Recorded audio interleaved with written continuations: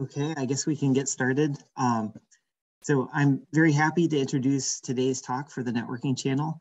It will be a panel and the topic will be on human-centered networking. And the uh, motivation for this panel is that, uh, you know, sometimes as engineers, we focus a lot on technical problems without thinking about how our works uh, affect people or how it could affect people, you know, the kind of the human and societal context of what we do. Um, so in this panel, you'll we'll hear about interesting research problems in this space, you know, key accomplishments, and also techniques to help enable you uh, to do work in this space as well. And uh, we have an amazing panel with true experts in this space. We have Elizabeth Belding, professor in the Department of Computer Science at the University of California, Santa Barbara, who has over 20 years of experience in wireless networking she has used her talents to revolutionize internet access in marginalized communities in developing regions and after natural disasters.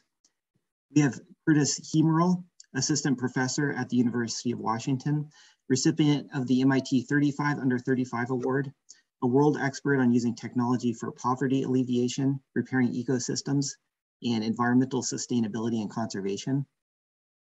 We also have Aaditeshwar Seth, associate professor from IIT Delhi, founder of Gram Vani, a social entrepreneurial venture to enable development of rural areas. He works extensively on monitoring biases in policymaking and preventing disempowerment effects of new technologies. We have Srinivasan Keshav, the Robert Sansom Professor of Computer Science, Sloan Fellow, Royal Society, uh, Fellow of the Royal Society of Canada, uh, Professor at University of Cambridge, and he has a very extensive history of providing internet access to the impoverished and reducing carbon footprints, forest conservation, and energy sustainability. And finally, the chair of the panel, Ellen Zegura, Fleming Professor in the School of Computer Science at Georgia Tech, chair of ACM SIGCOMM, member of the executive board of the Computing Research Association. She has done extensive work on computing for social good, including work in Liberia with Native Americans in Southern California and with disadvantaged residents in Atlanta. So here's all their pictures. Um, and uh, you know, before we start, I, I, wanted to mention that um, the networking channel is a uh, is more than just a single talk. This channel comprises a series of talks. We have talks every other week. They are free of charge and open to everybody. And we wanted to encourage you to attend all of them. Uh, this talk is going to be the last one of the season and we're going to take a little break for the holidays. And we'll start again about six weeks from now on January 19th. Uh, so with that, we can get started. Uh, we want to encourage all of you to participate. Uh, we want this to be, you know, an easygoing and, you know, informal panel. Uh, you can post questions here on the Zoom. We're also going to have a link to our Slack workspace. We're going to post it in the chat in a few minutes, uh, where you can also post questions and you can continue after the talk as well. We're going to kind of try and continue the conversation there as well. Um, so with that, I'll turn things over to the chair, Ellen, who's going to begin the panel. Thank you, Matt. Um, and thanks to all the organizers of the networking channel. I, I've been aware that it was happening. I confess I haven't um, uh, yet had taken the opportunity to watch any of the um, uh, or participate in the previous events, but but now that I know about it, I will um, uh, take a closer look. So I think it's a wonderful thing to do for the community, and I especially like the um, way that it uh, uh, draws on people from many parts of the world and, and uh, uh, researchers from many parts of the world um, to get to get uh, more diverse set of perspectives.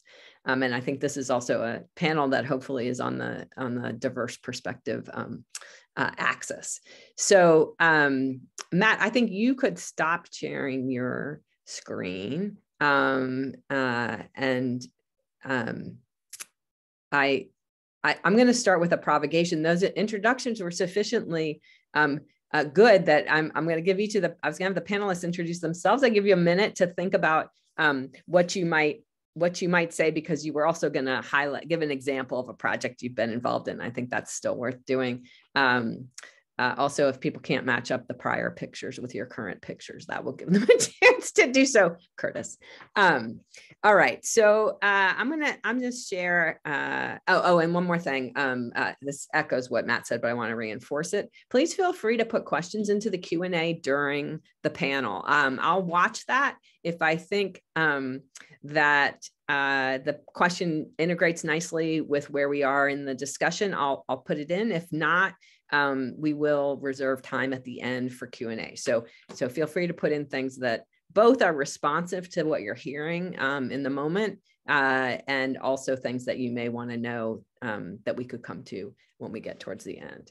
Um, and okay, uh, so let me let me share my screen, and this is just a meant to be a kind of brief, um, just a, a brief a brief provocation, and I'm not going to bother to um, turn this into slideshow mode. I think you all panelists could confirm that they can see that pretty well. I appreciate it. Okay, thank you. So, um, okay, so human-centered networking. What does this mean? I hope that's one thing that one thing you'll take away from the panelists some some understanding of what what that might mean. It's obviously not gonna it doesn't have a, fixed definition or uh, so so but but that you'll have some understanding. So i, I wanted to start with this figure um, uh, to kind of help start you on the path to understanding what what some of the issues are and what that might mean. This is a this is two maps um, that are both portions of the state of georgia where georgia tech is located southeast part of the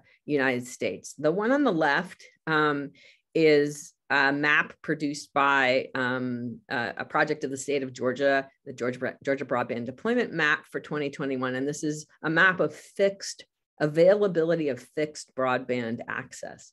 Um, and the light yellow are regions that have no provider that provides fixed broadband access. And the orange is regions where there is at least one provider of fixed broadband access. And this is a county called Pike County. Um, uh, and I, I sort of don't need to tell you that there's a lot more light light yellow or than than there is orange in that picture. And you might i don't know ask yourself like well you know i don't really i'm not sure what the state of georgia's geographic extent is but maybe it's got some parts that are you know way out there. And so maybe that's why uh, you know the coverage looks like this. Well this pike county is not um, Pike County is only about an hour and a half south of Atlanta. So the map on the right hand side is really to give you the context for Pike County and show you um, without a scale, but trust me, it's an hour and a half away. I've driven it multiple times. Um, the distance between Atlanta and Pike County. And actually, you're also seeing here, you know, that Atlanta and its immediately surrounding counties are extremely well covered. And then for whatever reason, immediately as you go south of, of Griffin, Peachtree City, you see this um, extreme drop off in coverage. So um, I want to I want to just posit that this is a, a really important problem and an interesting problem. Um, uh, it's actually a data problem and a coverage problem and a technology problem and a policy problem and an economic problem. Um, and, and, and let me just also say one more thing, which is I think that as a community, we have done a really good job embracing breadth um, in, in a couple directions. So data centers, which you might have thought were not, some might have thought were not networking, uh, are, are, are front and center in our, in our calls for papers and our, and our accepted papers. Uh, likewise, the physical layer um, is showing up in, in many, many papers. I've been reviewing for NSDI recently. Um, but we seem to be reluctant to embrace um, moving kind of up the stack all the way up the, stack to you know layer eight um, uh, we embrace layer seven. Um, so uh, there's work for us to do and and i hope some of the discussion in this panel will help move the community um, to an understanding and a and even would be great uh, uh a bit more of an embrace of um, of, of layer eight work. So with that um, i'm going to stop sharing and i'm going to switch over to the panel proper. So um, uh, let's see. Um, I'll I'll pick an arbitrary an arbitrary order here. Um, Elizabeth, would you like to uh, briefly say something about a, an example project you've been involved in? Sure. Thank you, Ellen. Um, Yeah, so I've, um, as Matt said, been working in wireless networking for about 21 years, um, 25, you include PhD work. And about 12 years ago, I said that I wanted to do less just pure wireless networking um, and have it have a more human focus. Um, I sort of I, I, got uninspired by doing networking for the sake of networking and wanted to have more of an impact with my work. Um, and so upon realizing that more than at that point, more than half the world was still unconnected to the internet, I thought, okay, well, maybe that's something I can have an impact on. I can use my wireless skills um, in order to develop new technologies to get people in these really hard to reach places online. And part of what I learned by doing that is that, um, you know, a, a lot of people in different communities, they, they have maybe different desires or different ways that they want to use the internet and different um, sort of thoughts about it. And so we would do network measurement to understand in some communities how people were using the internet um, and how well the internet was performing. But as a networking researcher, we never really understood the why. So we would see what the performance was and what people were doing with the internet, but we never knew why. Why were they doing this? Um, you know why why did their traffic look different than in other communities and it was really through realizing that there's much more nuance to it and needing to understand the human perspective that i realized i should actually be partnering with people who can um, you know figure out the why much more better much more um, accurately than i can which would be um, in my case social scientists or even humanists um, and so as a result i've partnered a lot um, with individuals across campus. And I think it's been really fruitful um, because we've been able to go into communities and really sort of understand their needs, um, how they might be using the internet or want to use the internet differently than you know the the mainstream of who the internet was designed for and by knowing that we can do adaptations we can make it work better for them um, and we can just sort of customize what we're doing to create a more positive experience. Um, so that's a lot of what um, we've spent the last 12 years doing is understanding network usage, um, understanding the why behind it, um, and then trying to innovate around better solutions to get people online, um, given perhaps unique circumstances of, of smaller communities that are, you know, not in urban centers. Thank you. Um, uh, I'm wondering if you might want to give an example of um, of, of, a why or a nuance that um, that stands out from from the work that you've done. Sure. Um, so we've worked in um, all over. So I started internationally in rural Zambia um, and some other locations, and more recently, I work a lot with um, tribal Native American communities here in the U.S. Um, and one of the things we found um, in both locations, rural Zambia and here, is that um, people want to use social media just like everywhere else. And there's a heavy predominance of wanting to access locally created content. So, photos of friends that are nearby, posts of friends from nearby, um, maybe you know community newspapers and so forth um, but if you're in a more rural community, um, in the case of Zambia, they were connected through a very slow um, satellite uplink. This was like 10 or 12 years ago, um, very slow connection. And all of this content was going up and down, up and down, up and down over the satellite link um, when it could have been shared locally. Um, but you know, the internet was architected for people who have fast connections, um, and are physically close to content. And it just wasn't the case in the, these communities. Um, so we said, okay, well, maybe we can change things and just store a lot of this heavily accessed content locally. And then let's save that slow satellite link um, for content that, you know, doesn't generate from the community. But it was only really through looking at the traffic and talking to the people um, to, that we understood that. And then we could try to make things better for them. Thank you. Um, Aditi, Adit, it's uh, this is a sort of good segue, I think, to to some of your work in particular, um, uh, working and living in the global South. And I'm going to define that just because um, I suspect there are people on uh, who've joined who don't who don't know that term global South. Um, so, and, and, I guess uh, I'll apologize in advance if my this is my under my my working definition. Um, uh, talking about these terms, they're often a bit loaded, and so um, I'm I'm I'm just giving. You can hear a little hesitation in my voice to want not to get it wrong. Um, uh, so great, great. yeah, yeah. So for a long time, you know, we've used the terms um, uh, first world, third world, or developing developed world, developing world, um, and and both of those two uh, nomenclatures have a, a, a, sort of come with a, a sense of judgment. I think of a one is one is positive and one is negative. Um, global North and global South are terms that are um, uh, seem to be uh, you know gaining a lot of traction as as a way to um, speak about uh, uh different different settings, different um, circumstances, but without a kind of value judgment attached to the word. So global south um, actually doesn't even necessarily have to mean south of the equator, often does, but but doesn't have to. So um, so working in the, living in the global south, um, you know, Elizabeth mentioned work in Zambia, um, and then also work closer to uh, closer to home for her in in the Southwest.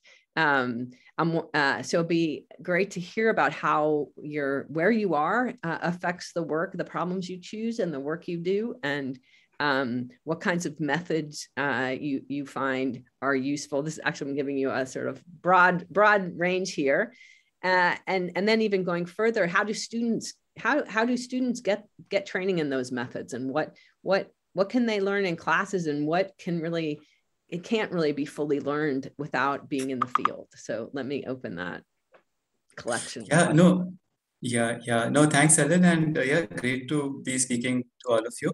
Um, uh, so yeah, so Ellen, what do you say about the global north and the global south? So um, a lot of the work, for example, that um, we've been doing has been uh, for development, for social development uh, sort of like what Elizabeth was mentioning also, how do we provide internet access and the example that you brought up. Um, um, so being in the global south in some sense makes us uh, closer, uh, brings us uh, closer to the action. And in some sense, we're able to understand the constraints under which we should build networks, uh, what sort of customization should we be thinking about for different performance uh, optimizations. Um, so so in that sense, it's it's interesting that being closer, we have a better sense of uh, how things and what are really the needs. Um, uh, but at the same time, I also add that actually the global north and global south distinction is, uh, I mean, in India, uh, India is one of the most unequal countries as of today. So, I mean, it's, it's also within within the countries over here. And that's really something that impacts whatever work uh, we're doing. Um, because uh, so I'm at IIT Delhi and sitting in Delhi, um, and uh, IIT is sort of one of the most prestigious institutions. Uh, really, really good students only are able to make it to IIT. Um, but but there is a big social distance with so let's say if we want to set up networks in rural areas well most of us may never have actually visited uh, even stepped out of urban cities um, so uh, so that distance is still there even uh, when we talk about it and uh, um, how to bridge this distance i think that's really the key challenge um, it, it can't be done unless you visit the communities unless you uh, unless you're there, you're understanding what are their needs. Um, uh, so, I mean, so for example, so uh, uh we uh, one of my first forays, which so by the way, you you don't know, Keshav is my PhD advisor. Um, so I mean, the journey really started with him, and um, the very first project sort of that got me into this space was we were trying to provide low-cost internet in rural areas um, uh, through delay tolerant networks. And uh, but now what I'm doing actually there's no networks in it at all because what we realized was that when people want to share information, uh, it's not really the internet, right? It's any whatever local technology is available to them. So we've been using uh, interactive voice response systems for that um, because everybody has uh, phones, uh, or most of the people do have phones, and it doesn't even require the internet. And we're able to provide services through which they can they can call, they can record information, they can share this information with other people. So, um, and, and all this really comes when you're actually in the community. So I think for students, that's really the key part that not to be hesitant, right? Uh, it, it, takes time. Um, it, it, methods, right, so of working closely with the community, understanding what their needs are, constraints, and then thinking about, well, do I even need to provide internet over here? Do I, or should I do, uh, should I use some other technology? So I think that can only come once they're actually there. And uh, um, so yeah, so I, I think that's really the key point of uh, where I mean the, the human centered part for me really sort of comes in actually being in touch with the humans who are, who are supposed to use the technologies that you're thinking about. Yeah.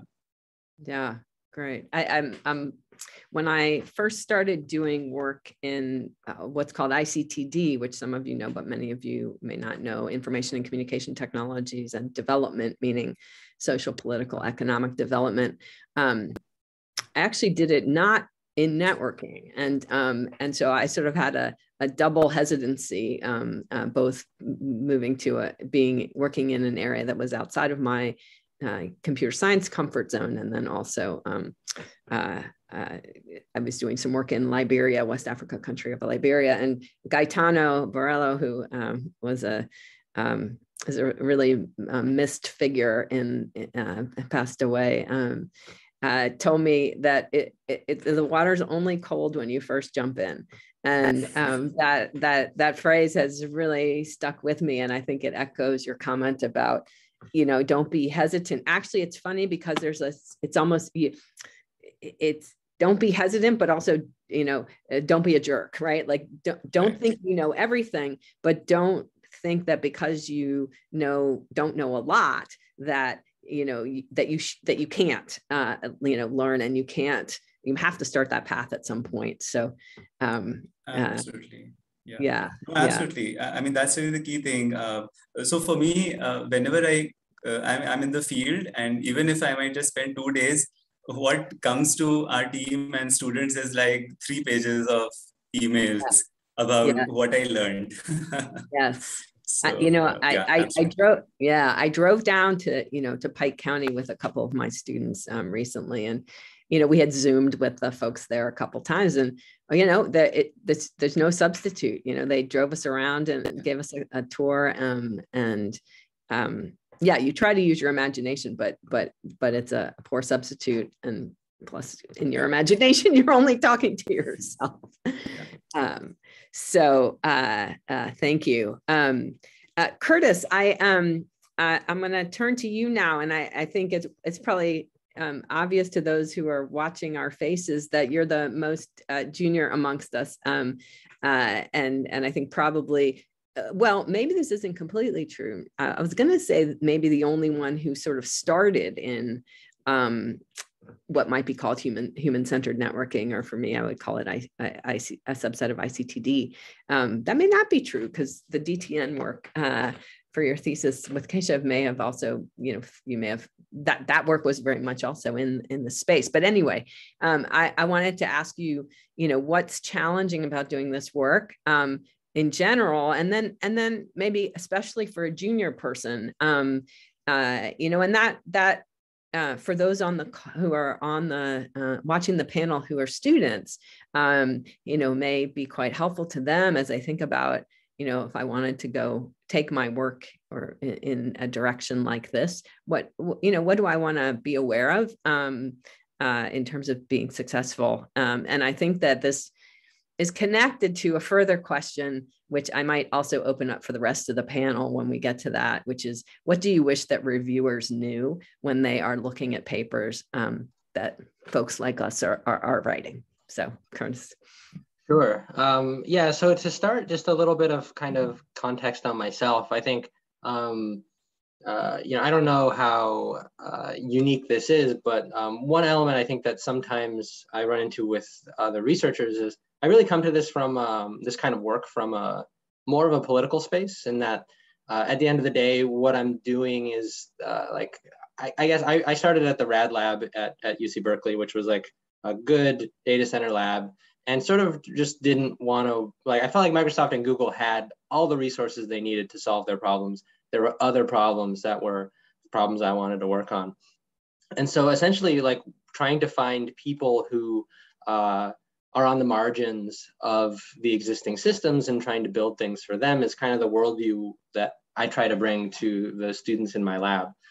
Um, and uh, you know that is i think a ripe area there's just always people kind of uh, left behind by uh, all the advances that are going on uh, and trying to re-architect things for them uh, and build things for them is a fun uh, sisyphusian task that will sort of always be there um, and towards the kind of questions of being a, a junior person i think that the largest struggle is really about community as a, as a junior student. Um, and I mean this in, in many, many senses. Uh, I think one element of trying to get a job like this, and I got super, super, super lucky, um, is when you, you know, you need champions inside of departments, you know, you need people who know what kind of work that you're doing. And essentially much of my human-centered networking work actually goes to HCI venues. Uh, I would say most notably, like of recent work, we have a CSCW paper on uh, um, doing a congestion management in a community network down in Mexico. Uh, and it's this really fun, like Ostrom view of networks. And we didn't even try to shoot that to a networking venue. It just seemed uh, like it would never work. And so, you know, that's at CSCW, but uh, when that packet arrives at a university, it's like, they have no idea who this person is. And my version of it is like even so, I actually had to go through two faculty searches because it's hard life. Um, and uh, the first one I applied as a networking faculty member with my like, hey, I'm a networking person, and it didn't get as many bites as I wanted, so I switched and I was like, oh, I'm an HCI person. And UW, uh, you know, bless them, uh, literally just ignored my second packet. They were like, no, you're not HCI. We're not going to pretend that, and like, you know, we're just going to pretend that you didn't do that uh, and you're going to be a networking person. Um, and that was really great. And they really could do that because they had so much context on ICTD. This is one of the places that was really early. Uh, as Ellen mentioned, Gaetano was here. Uh, and so they knew me and they knew my work and they could kind of see the world that I was living in.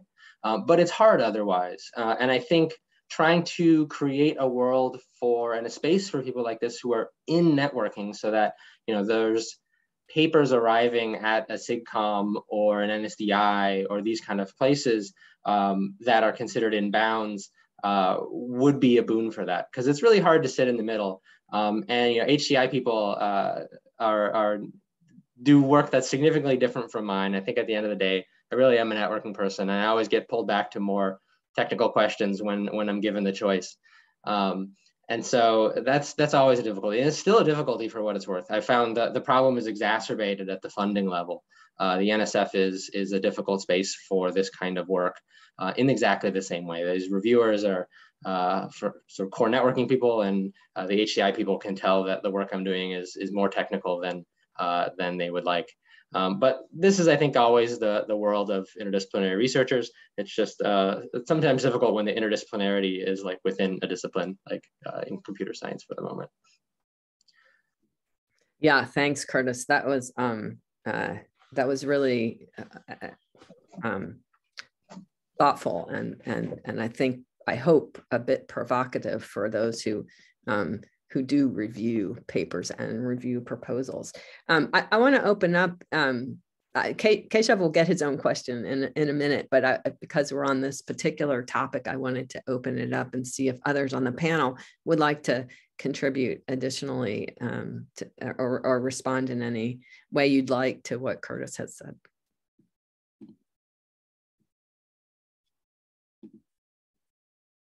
I guess I could add that um, there's there's more challenges to it. Um, so, for instance, if you're working in a community, you know, you, you need to actually work in that community. You have to have a partner, a local partner on the ground who is trusted um, and who can really help you, you know, make contacts and, and do your work there. And the travel requirement is quite hard, um, which is part of why um, I turned my focus to communities in the US was it was just much physically much more much easier to get there.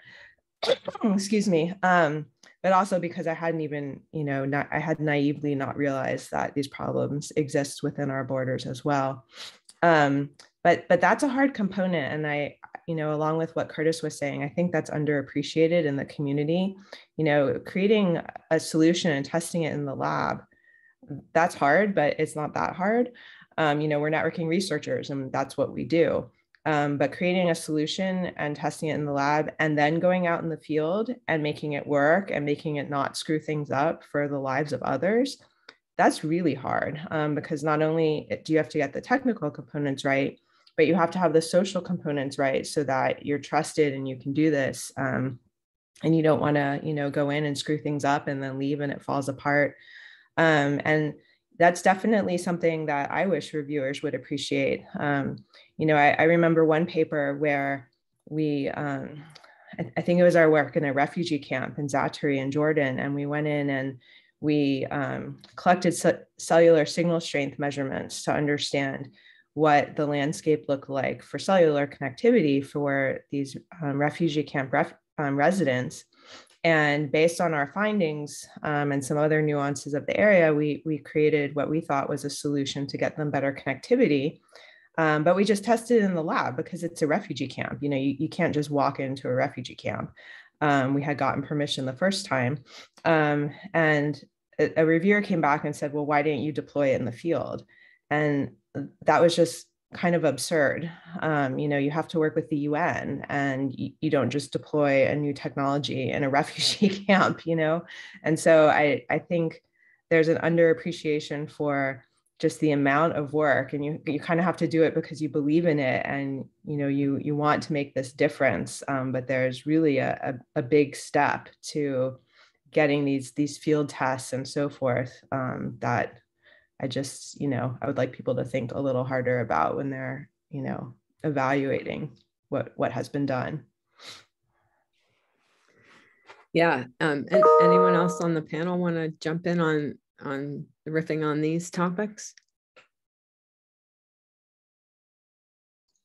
I'll slightly just support Elizabeth's point, which has been, and in terms of venues like NSDI and the like, like uh, often my work gets shunted into the deployment or operations tracks because of this because like a lot of the work is wrench turning and making friends um, and uh, it gets like somehow that's the version of this that the networking community is is like okay with um, and we're happy to get the paper in.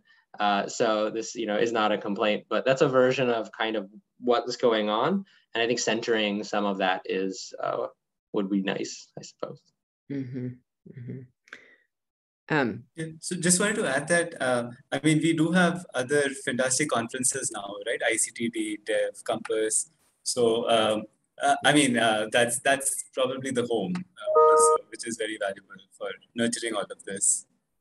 Yeah, that's an important point. That you know there there are venues that have um, uh, uh, emerged in in part to meet the needs for um, uh, places for interdisciplinary, including interdisciplinary and computer science work to happen. And uh, ICTD, the conference ICTD, is a, um, a long running uh, version uh, uh, example. And there's a newer, newer um, conference called Compass.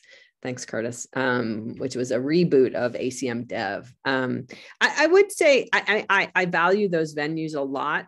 Um, I, I still wish that I, still would like our our kind of home conferences that you know we feel uh, you know the SIGCOMMs and NSDIs to to to uh, to to to be more open and embrace embrace some of this work. I think I think they are missing out, and I think that um, eh, that it, it does pose some challenges um, uh, with respect to things like tenure and um, letter writers and things like this. I mean, the things are growing.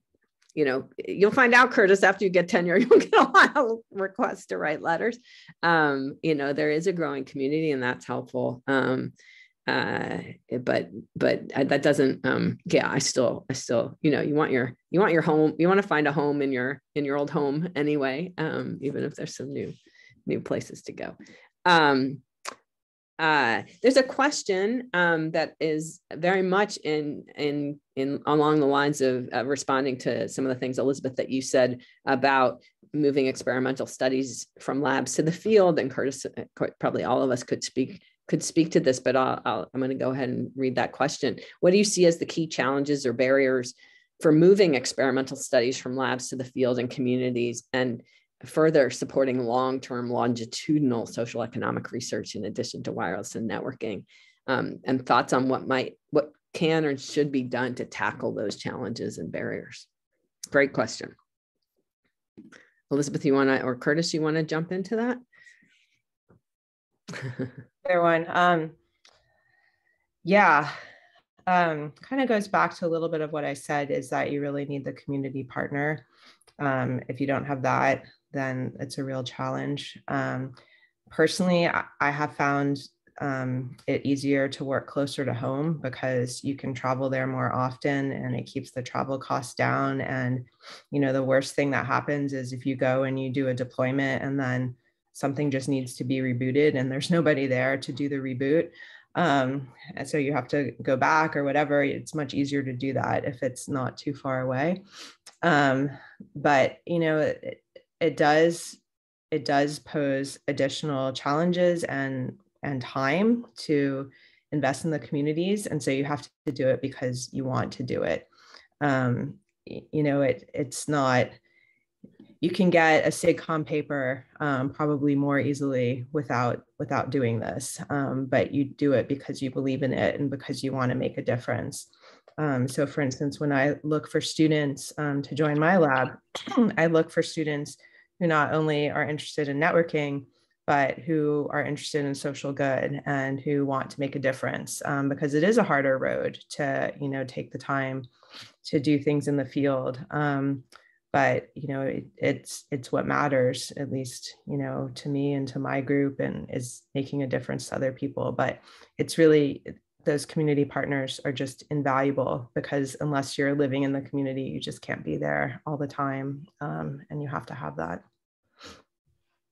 Kurtis, you want to add anything?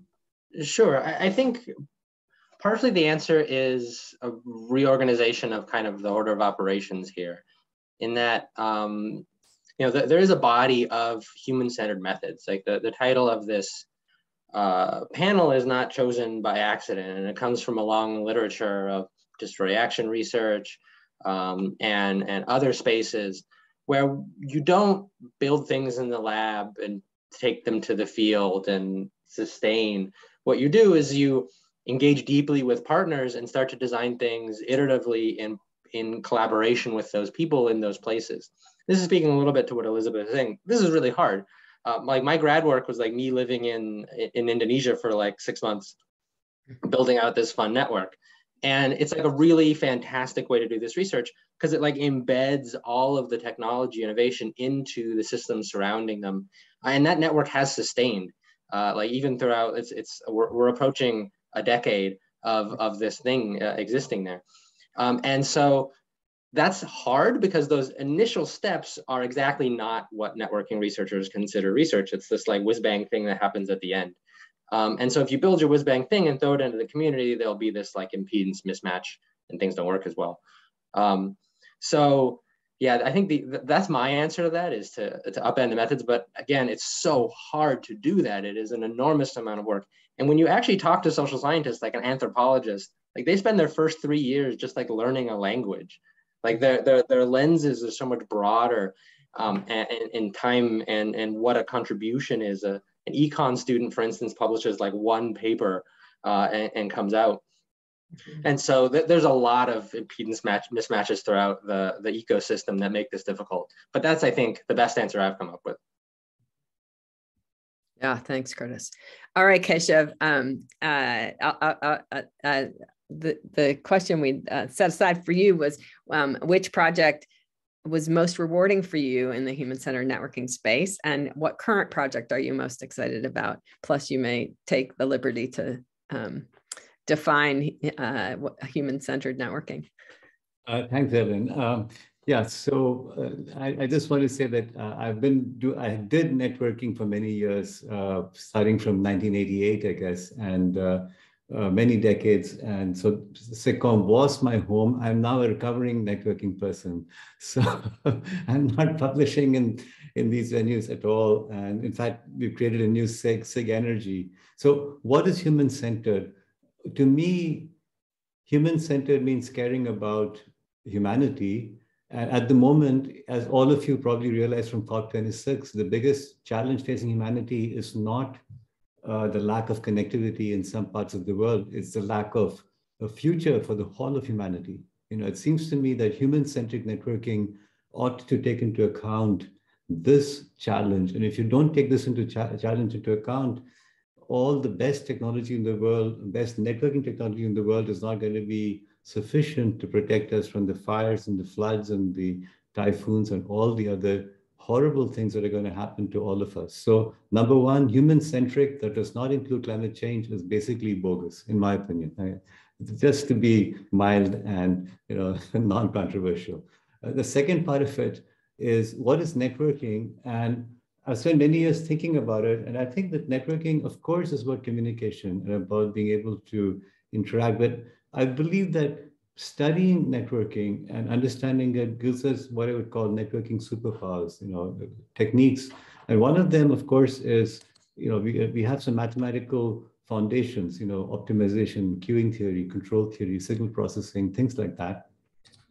We understand systems with multiple temporal scales, you know, from the nanosecond to the multi-decades, uh, spatial scaling, uh, capacity scaling in terms of, you know, very low bit rates to you know, terabits per second, uh, and decompose, decomposing a system with, with strict APIs. The protocols are nothing more than APIs between component systems. And more recently, we've been looking at using you know, big data analysis, uh, hardware, software co-design. These are all very important skills. And so what I've been doing for the last decade really is to try and use these skills in other venues. So the first thing that uh, I've been looking, I, I, looked at or spent a decade was in energy systems, so solar PV, electric vehicles, uh, heating, ventilation, air conditioning. Very boring, but it's actually networking in the sense that you have flows of heat or flows of cold air going through buildings.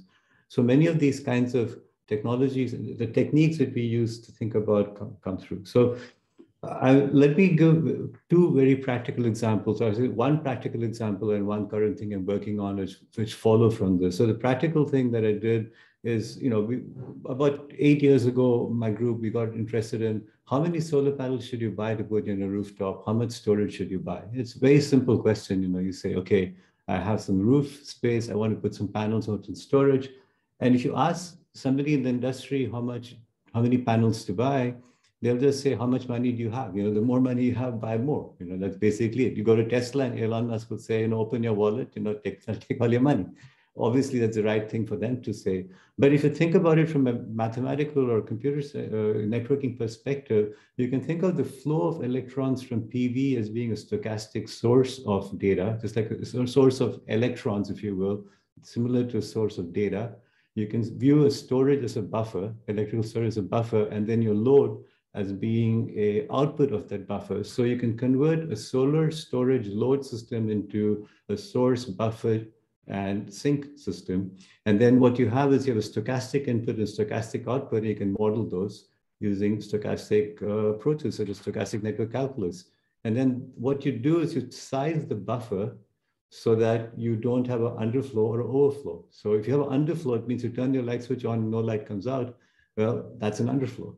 And overflow means you have to turn off your solar panel because you can't store the excess that you created. So both underflows and overflows are bad. And a series of papers going back, uh, uh, I said, about eight years now, we've been using essentially stochastic network analysis to size solar and storage. And it's not an easy problem. It gets very complicated. It's doubly stochastic. And also you're predicting what your load is going to be for the next 25 years, not 25 milliseconds, but 25 years and you have to predict what your generation is going to be for the next 25 years as well. And storage is not a perfect, it's not perfect like a memory is. You can't, you, what the bits you put in are not the bits you get out. What you, what you put in is limited. So modeling storage, you, taking into account electrochemical uh, limitations turns out to be quite complicated. So we spend three, four years looking at working with electrochemists on how do you model storage appropriately. So there's actually non-trivial amount of work. So that's the work that I wanted sort of mention why why is this important from the perspective of climate change? Because if you have solar and you have storage, you're not on the grid anymore, and you have clean electricity essentially forever. And uh, it builds re resilience in case you have actually got a storm going on. You know, some people in California discovered anybody with storage their lights on, everybody else that didn't have the lights on. And secondly, uh, by not using uh, fossil fuel-based generation, you're reducing the amount of carbon dioxide going into the atmosphere dramatically. So that's an example of uh, what I call human-centric networking if I redefine the terms. Um, I want to talk very briefly about current work I'm doing, which is uh, pushing the border even a little bit further, which is to come up with trustworthy carbon credits. And so many of you, when you fly, there'll be this button that says, pay $5, you'll offset your carbon. Do you believe in those credits? The answer is probably no. And, the, and uh, for very good reasons, uh, especially most of these are for uh, reforestation or prevented deforestation kind of principles. And uh, we have no idea if these forests exist, if they've been sold over and over again, uh, will they continue to exist, you know, when the project ends and so on. So I've been working with zoologists and plant scientists and forest scientists to use Earth observation, uh, big data processing from these Earth observations, because actually from the International Space Station, we're actually getting uh, petabytes of data from lasers which go down to the Earth and come back up again and measure the height of the of what was underneath it. Um, from that, we can extract uh, carbon densities. And then from that, we can actually come up with uh, basically um, uh, believable carbon credits. We're putting all of that in a, in a, in a blockchain, which is not Bitcoin. It's, it's energy efficient blockchain. So you're combining essentially Earth observation, uh, data analysis, AI, um, and blockchain and a, and a market design to solve this problem. And we just started the Cambridge Center for Carbon Credits uh, about a month ago and uh, we believe that it can actually uh, change uh, the behavior of, of people who are willing to do offsets in, in, in a major way. So anyway, I'll stop with that. Uh, uh, reactions from the rest of the panel, comments, questions uh, to Keshav's um, re redefinitions? Nothing really on the redefinitions. I just wanted to sort of support the, the area uh, notably, there, there are, I would say, particularly pessimistic uh, views of this in some communities that like pessimistic being like things aren't going to get that much better. Uh, and Limits is a wonderful workshop venue for talking about how to actually pull back some of uh, the, the outputs or inputs, I guess, even uh, of computation that uh, Barath at USC has been doing for a while. So I just wanted to sort of call, shout out that because I think it's a great initiative that uh, is a very interesting space.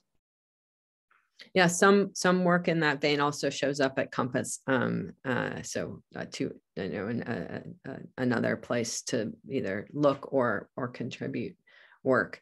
Um, and and I think the caring about humanity uh, sort of uh, probably is a is a, redefinition or definition that underlies a lot of um, what the rest of us would also you know also uh, subscribe to and and is part of what has drawn us um, to the kinds of problems that that we're working on um, so uh, yeah so so so thank you um, there's a question um, from an attendee which is um, uh, and it's a good it's a good one to as we're getting closer to the end, which is how do you, how do you see the field evolving? What kind of progress from research or overall movement building would you like to see happen in the next five to 10 years? What kind of progress do you think is required to get us there?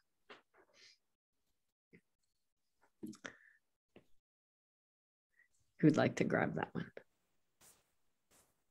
Uh, I guess I could uh, take a shot and uh, also just to also respond to Keshav uh, because we've always uh, love to uh, challenge each other on many of these things. So um, I, Kurtis initially mentioned this very important term uh, of uh, right being uh, coming from a political standpoint. So I think that's very very essential because right doing good for humanity itself can be thought about in so many ways. and there's different methods, right? So Kurtis talked about right being in the community, innovating, building stuff with them, so, uh, so there's less chances of sort of doing harm uh, because, uh, well, well, you sort of understand the depths much better. Um, uh, so, uh, so I think that lens is very important because, um, right, who is the, how will these innovations impact different communities around the world? Um, right, I think that perspective becomes important and to get that you really need to be in the communities to sort of think about it.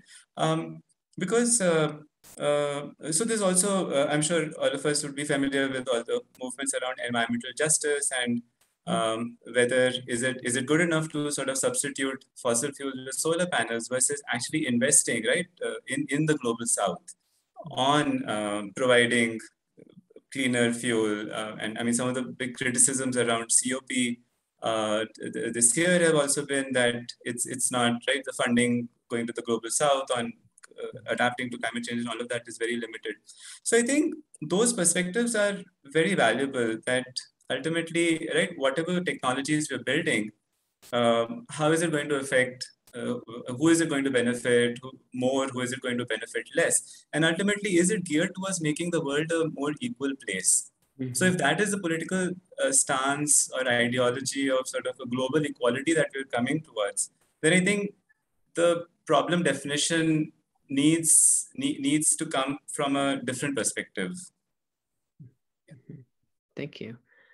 Yeah i i um you know i i the the there's a lot of complex interaction between um uh, climate change and and and inequality right? Um and uh, you know who, who who's who's been responsible for um, the the negative things that have been happening in the in climate, and then who will be responsible for um, doing better going forward. Um, and and it, it produces complex, um, intertwined uh, questions for sure.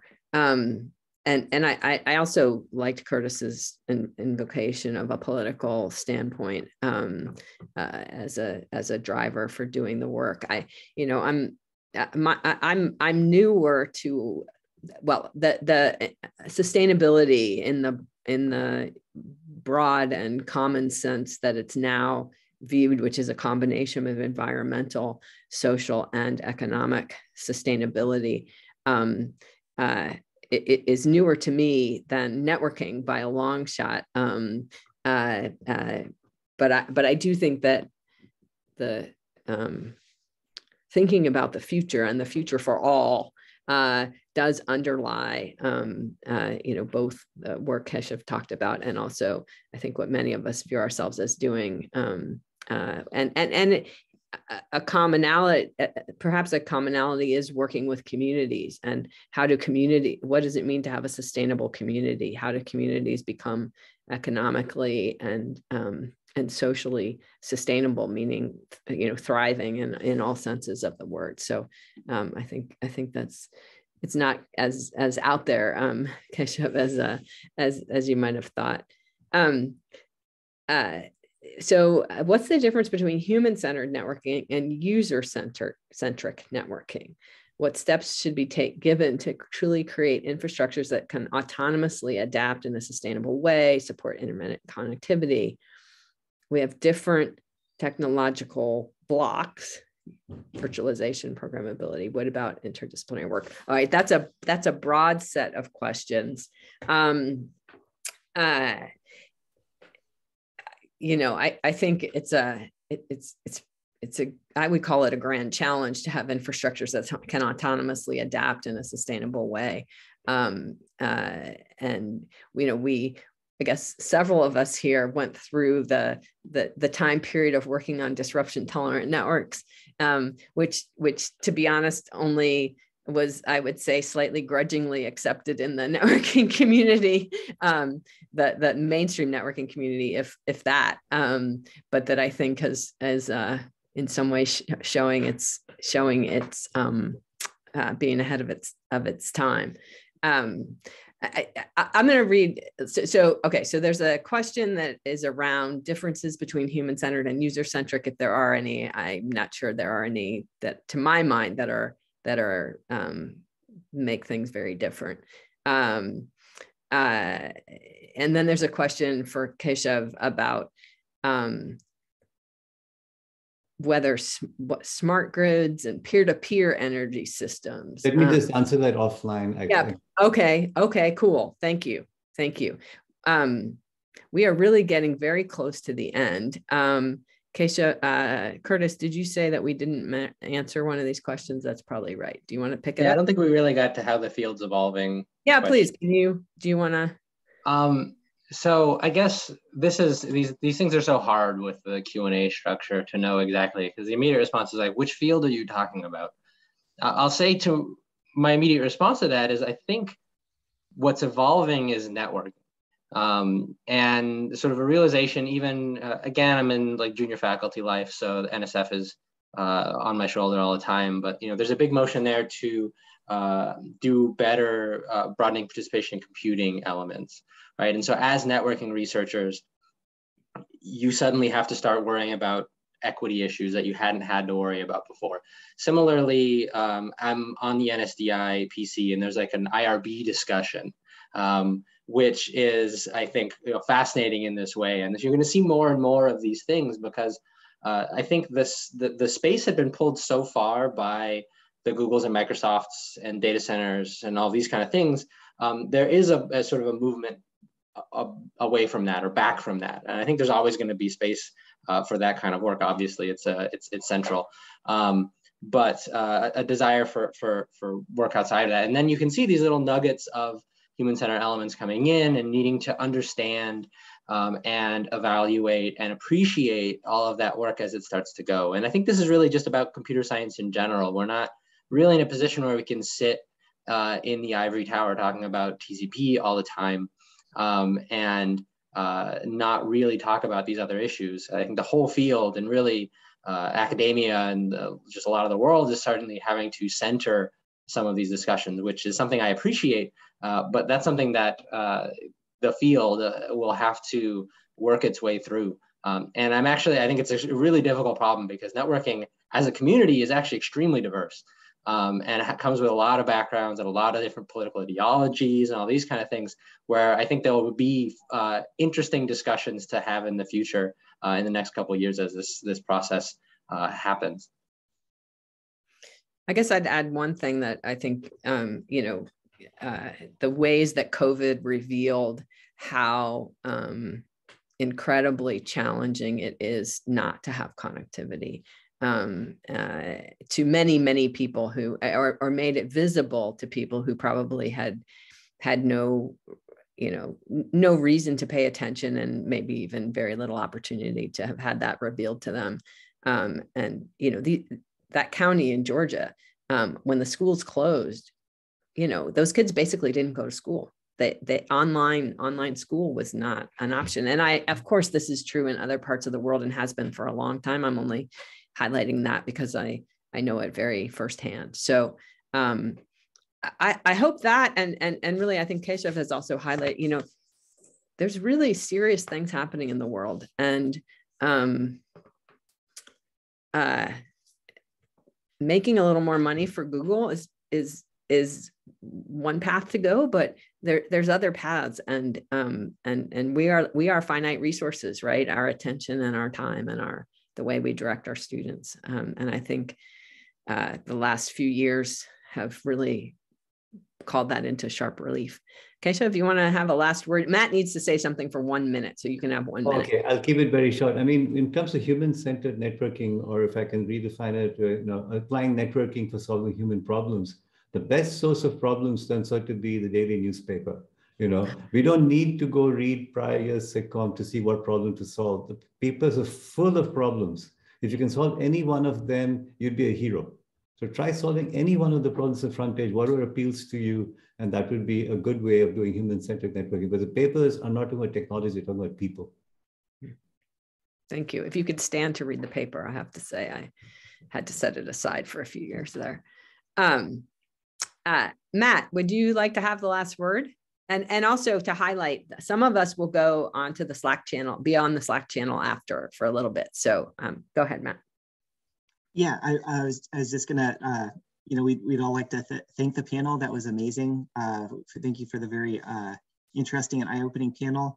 Um, and we want to keep the discussion going. Like ellen said if y'all could get on the slack and discuss any questions are fine. The panel's you know very excited to interact with you and exchange ideas and how you can you, you know yourself work in this very uh, interesting and very impactful area. Um, regarding the networking channel, we'd like also like to ask you to keep an eye on the webpage for further announcements. We're going to be posting the new season of talks in the coming weeks, and we hope very much you will join us for an exciting spring offering of talks. Uh, thank you all very much. Yes, let me add my thanks to the panel and to, to all in the audience. And um, Matt, thank you for being our, um, our shepherd. Uh, I, I will head over to the um, Slack channel and hope to see some of you there. Bye. Bye-bye. Thank you. Bye, everyone.